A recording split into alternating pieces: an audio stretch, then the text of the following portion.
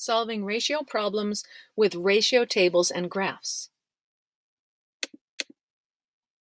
A ratio story problem is given. We will read that in a minute. Notice there's also a ratio table for us to complete. We will be using the ordered pairs from the table and plotting them on the graph, and we will solve the problem that is presented. Problem reads this way. A bag of M&Ms has only red and green. For every eight red, there are five green M&Ms. There are 24 more red than green M&Ms in the bag. How many M&Ms are in the bag in total? So notice there are two things that we're considering, red and green M&Ms. So let's put R for red and green, G for green. The given ratio is that for every eight red, there are five green M&Ms. So the fewest number of M&Ms there could be in the bag without knowing any more information would be 13. But we're told that there's 24 more red than green. So I know I have to have more than 13 M&Ms in the bag in all. So what if there were double this many red and double this many green? Well, now there's six more red than green, so that's still not enough. So what if there were triple as many red, namely 8 times 3 is 24, or 5 times 3 equals 15 green?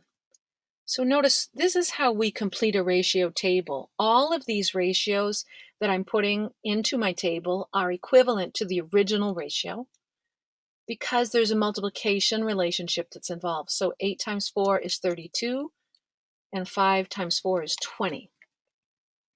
And I continue this way with my ratio table.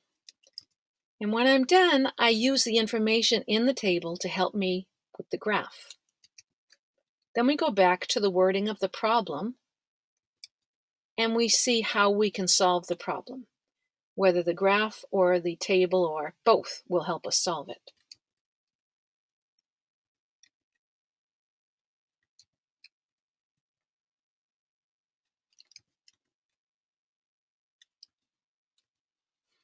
Okay, so we have nine ordered pairs that I'm going to put on my graph. Red is my first variable, so I'll put it here as my horizontal axis. And for the scale and the interval that I'm using, we'll put 8 and then 16. And this is perfect now that we've taken the time to fill out the table because my graph will be nice. I'm using the numbers that are in the table. And this is good because to make a careful graph, you want to use an equal, um, an equal interval. So I can stop right there at 80. And this one here is going to be my green M&Ms. And we are counting here, skipped counting by fives.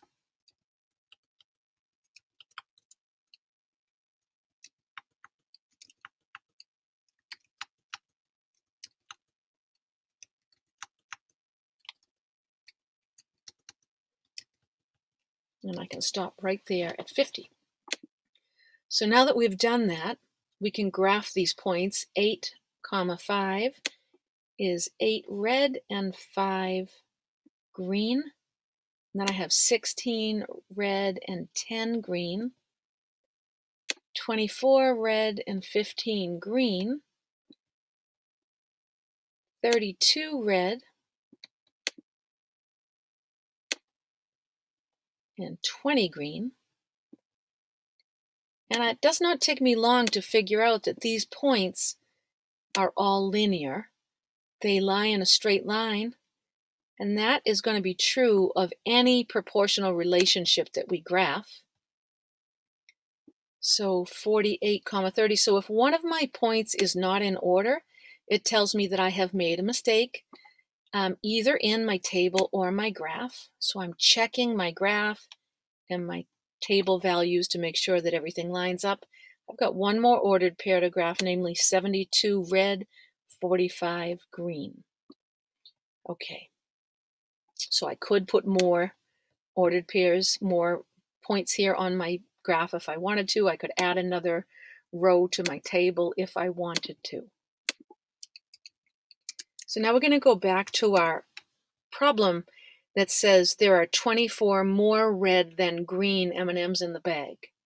And I'm wondering, would the graph or would the table help me um, determine or help me see this relationship more clearly? I believe the table will. If there's 24 more red than green, I'm looking for an ordered pair where the red is 24 more than the green. Well, here it's 18 more. This one here shows that it's 24 more. So this is definitely the ordered pair that I'm that is going to help me answer the question. So the question asks how many M&Ms are in the bag total? Well, if there's 64 red and 40 green, that's a total of 104 M&Ms in the bag.